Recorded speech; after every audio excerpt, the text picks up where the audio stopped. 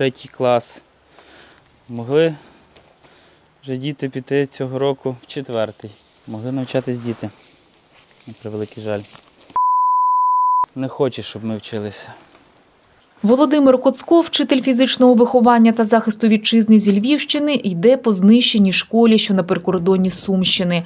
Востаннє шкільне приладдя він брав у руки понад два роки тому. Говорить, із квітня 2022-го зброя стала звичнішою за класний журнал чи спортивний інвентар. М'яч наразі це розкіш для військового. Часу трошки приділяється іншому. Володимир служить у 80-й десантно-штурмовій бригаді. Каже, ця зруйнована російськими кабами школа не перша, яку бачать із початку повномасштабного вторгнення. Я в цій школі не викладав, а вчитель, який тут працював, для нього це, напевно, ще більше боляче. Просто не можу собі уявити свій спортзал, в якому я працював, щоб він був знищений. Працював чоловік в одній з шкіл міста Борислав, що на Львівщині. Із майбутнім фахом, згадує, визначився у старших класах. Ділиться, поштовх до професії вчителя надав його шкільний викладач.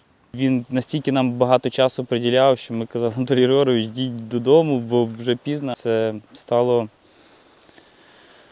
таким рубіконом, що я теж хочу бути вчителем. Біологія і фізичне виховання для мене було ближче, і тому, тому обрав цей напрямок. Спорт. Спорт це сила, спорт це життя. Працювати після педагогічного вишу Володимир почав у тій же школі, де й вчився. Тоді ж став одним з керівників патріотичного гуртка Джура, викладав у старших класах. Дуже багато було знайомих, е, друзів, і так вийшло, що я їх вчив.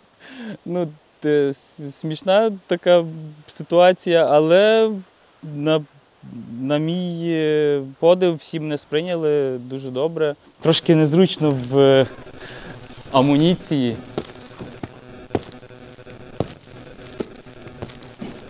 Ну і там такі вправи. Ці діти це, це просто кожен про кожного можна історію розповідати. Була історія, коли в нас була гімнастика на уроці, і п'ятий клас починалася тільки е, гімнастика, і там я дітям показав сальто, і, і це так для них було вау! А давайте ще раз. І там, ну, вони би хотіли, щоб я цілий урок там сальто їм показував.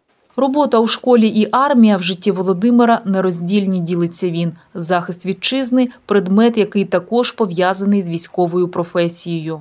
Це потрібно е, мотивувати дітей і розповідати, чому саме треба йти захищати. Захищати країну Володимир пішов у квітні 2022-го. Одразу потрапив до 80-ї десантно-штурмової Галицької бригади. Брав участь у Харківській операції, боронив Донеччину. Зараз підрозділ Володимира перебуває на Курському напрямку. Тут чоловік виконує обов'язки командира взводу забезпечення самохідного дивізіону. Хлопці роблять смертоньку окупантам. Тобто наша задача забезпечити їх всім, що потрібно, для того, щоб вони ефективно виконували свої бойові задачі. Забезпечує військових Володимир з побратимами харчами, паливом, боєприпасами. Ми з хлопцями називаємо як хто кабани, подарунки. Е, 122 мм снаряди. Хлопці стріляють такими снарядами по окупантах. Паливозаправник, все, що треба знати про нього, е, забезпечує пальним. Ну і наша задача, відповідно, щоб цей паливозаправник був справний. До польового життя за понад два роки Володимир звик. Небезпека, каже, звична військова буденність. Навколо нас тут ну, вже досить багато прилітало кабів. До школи чоловік планує повернутися і знов навчати дітей, але говорить не раніше ніж закінчиться війна. Наша українська боротьба як це баскетбольний щит, не знищенні. Скільки тут кабів прилетіло і не знищили. Хотілося б, щоб і в нашій країні зараз було, щоб всі були за єдине і щоб всі були за одну ціль. І тільки так ми зможемо перемогти. Діана Крахматова, Вікторія Гладченко. Суспільне новини. Сумщина.